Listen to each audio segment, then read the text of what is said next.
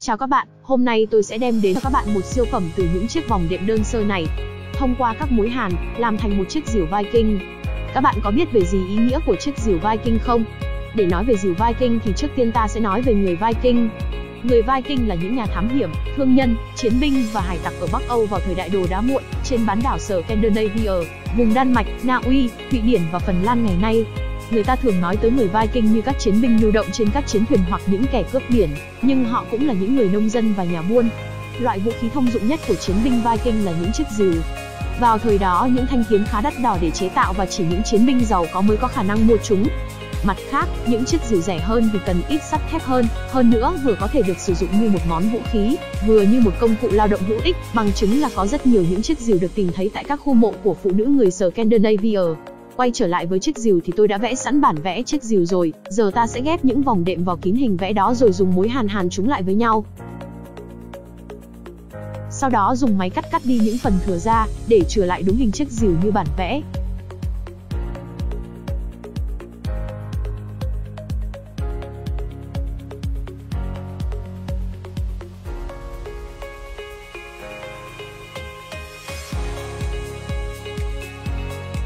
Dùng lửa mạnh nung nóng ở giữa rồi gập đôi chúng lại.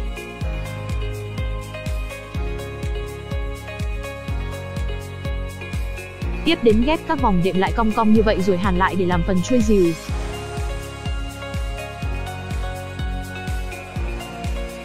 Tiếp đến hàn phần sắt cong cong vào đầu trên làm lưỡi rìu.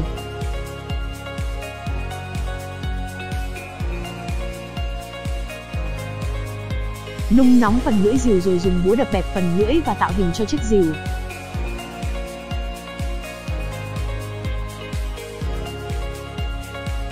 Dùng máy mài mài phần hai bên của rìu và phần lưỡi rìu.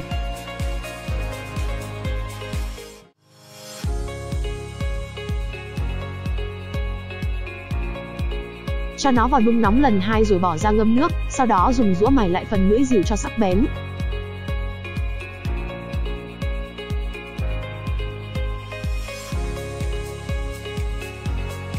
Cuối cùng gắn phần chuôi và phần lưỡi lại với nhau, dùng mối hàn cố định chúng lại rồi dùng máy may mài lại tổng thể chiếc rìu một lần nữa.